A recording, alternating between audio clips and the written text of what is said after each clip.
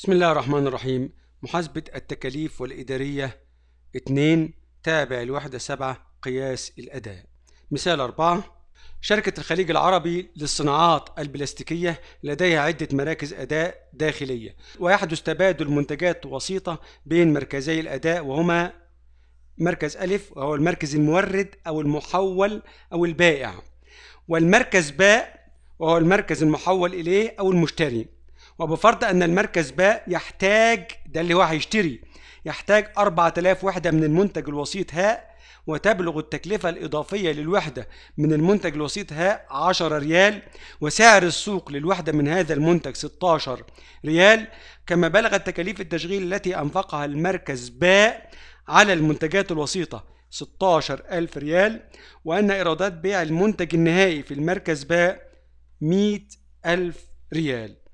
من هذه المعلومات فإن عائد المساهمة لكل مركز وللشركة ككل يساوي على التوالي ألف ولا باء ولا جيم ولا دال طبعا نحل الأول قبل ما نختار حل مثال أربعة هي الإجابة الصحيحة باء بس جابنا باء إزاي؟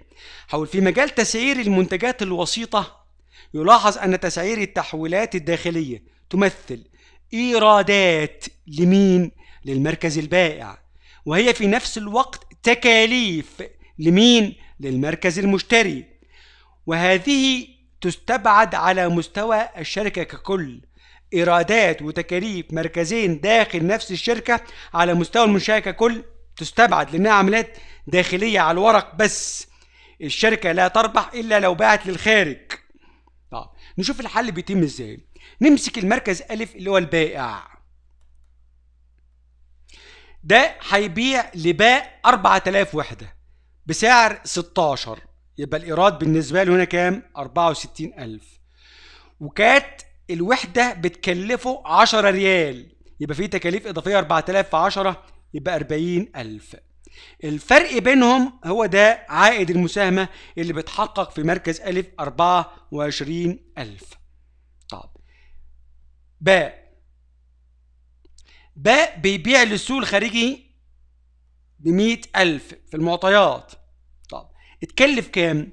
باء ده بقى المشتري.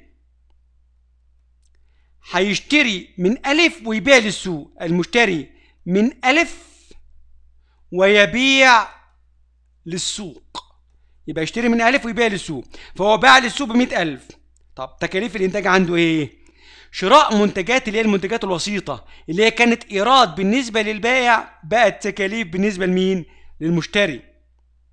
وفي تكاليف تشغيل معطى عنده كمان 16000 يجمع الاتنين دول مع بعض يبقى 80000 يطرحها من ال 100000 يبقى عائد المساهمة عنده 20000 طب بالنسبة للشركة ككل المبيعات الداخلية اللي هي كانت إيراد لمركز وتكاليف لمركز آخر دي تحويلات. دي لا يعترف بها. تستبعد. دي تستبعد. التحويلات اللي هي دي. فلما أجي هنا مبيعات للسوق كالشركة ككل المئة ألف. طب تكاليف الإنتاج. اللي هي التكاليف اللي حدثت في أربعين ألف واللي حدثت في باء ستاشر ألف. ال 40000 اللي حدثت في ألف وال 16000 اللي حدث فين؟ في باء. طب أمال التكاليف اللي هي عند باء؟ ال 64000 ديت دي لا يعترف بها تستبعد لأنها تعتبر تكاليف بالنسبة لباء وإيرادات بالنسبة لمين؟ لألف فدي تحويلات داخلية لا يعترف بها. يبقى نجمع الاثنين دول يبقى التكاليف 56000 أطرحها من الإيراد اللي فوق 44000 يبقى تلاقي الإجابة الصحيحة فين؟ في باء 24000 20000 44000